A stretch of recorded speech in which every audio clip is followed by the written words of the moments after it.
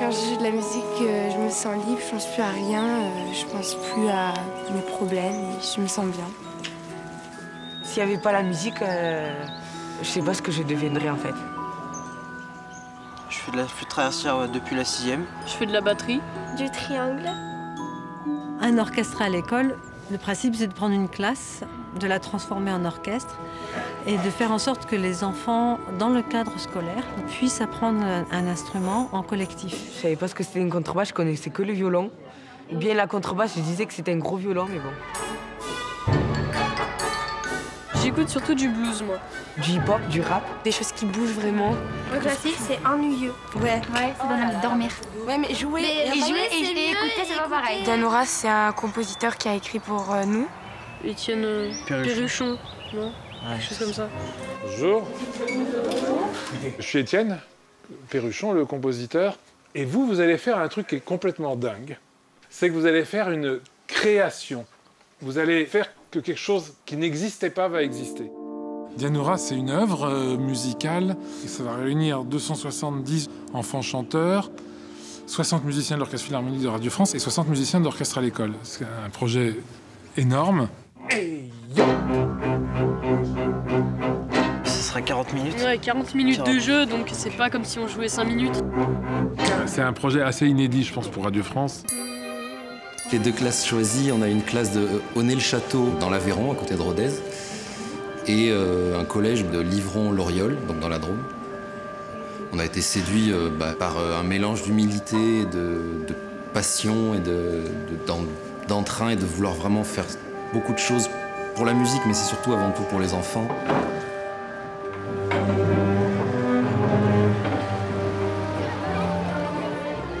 Sûr qu'en étant armés de compétences artistiques, ils auront d'autres moyens de réagir face aux injustices de notre vie en société aujourd'hui. Au début, c'était vraiment galère à comprendre les partitions, à jouer ce qu'ils voulaient dire, mais après, petit à petit, on s'est habitué. C'est des croches toutes, toutes bêtes. Pom, pom, pom, pom, pom, pom, pom. Nous, on estime qu'il aurait fallu, pour monter ça, plus d'une année.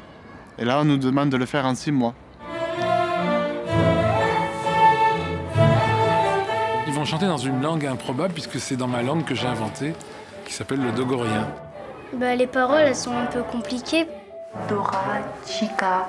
Quand les mots sont pas assez forts pour dire ce qu'on pense, pour dire ce qu'on est, laissons parler la musique. Moi, quand je suis en Dianora, ça m'apporte un peu de toutes les émotions, euh, comme la tristesse, la peur, la joie. Je pense que c'est la première fois de ma vie où j'ai senti que ce petit effet artistique que j'avais inventé il y a longtemps avait véritablement une raison d'être. On va aller à Radio France. On va faire comme les, comme les vrais musiciens. D'ailleurs, on est des vrais musiciens.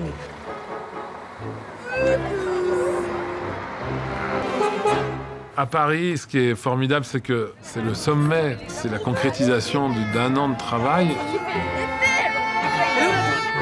Franchement, c'est classe. Là, je stresse, ouais. C'est du sérieux, quoi. T'as vu cet orgue? T'as vu ça? C'est incroyable. Tout- Je suis tout petit par rapport à ça. Bonjour à tous et bienvenue euh, bah, à l'auditorium de Radio France. Et ben, je vous propose de commencer. Un, deux, trois. Pour nous, c'était vraiment important qu'il y ait euh, vraiment euh, une, une communication, un échange entre les musiciens du Philharmonique et euh, nos musiciens. Ils sont avec eux pour compter les mesures. Ils communiquent comme si nos enfants sont en fait membres du Philhar. Quand on a joué avec eux, c'était difficile. Et quand j'ai su que je, je réussissais à jouer avec eux, je me sentais un peu haut parce que c'est trop bien de jouer avec l'orchestre philharmonique. Et là, là, je commence à avoir confiance en moi.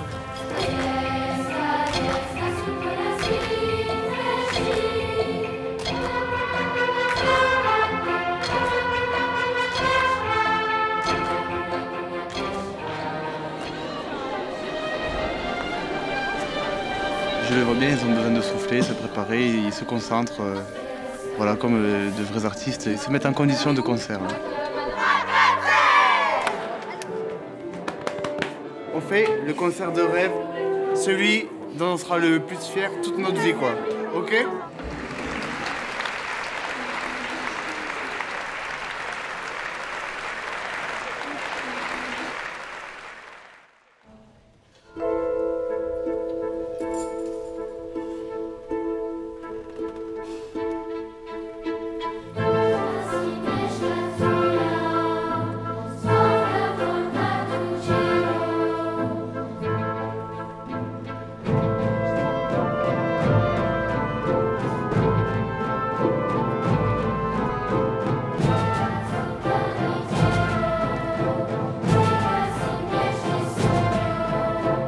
Franchement, on revient de loin. Les premières répétitions, j'étais un tout petit peu inquiet.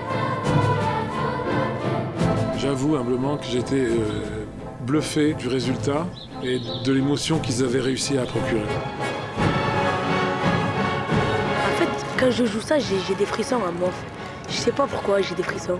On joue fort. En fait, c'est comme si on partait en guerre et il faut combattre. Quand je joue de la musique, euh, je me sens libre, je pense plus à rien, euh, je me sens bien.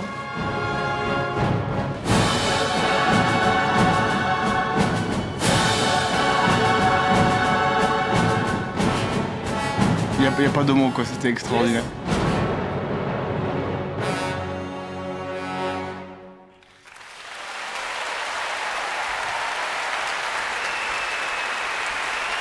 Je ressens de la fierté, euh, l'émotion. Et puis je suis fière de ma classe, de moi et de tout le monde. Tous les efforts qu'on a fait avant, ben ça a payé. On a montré que ça pouvait être possible. La culture, on sait, c'est ce qui va éduquer les enfants. Donc allons-y, il faut tous faire ce genre de projet.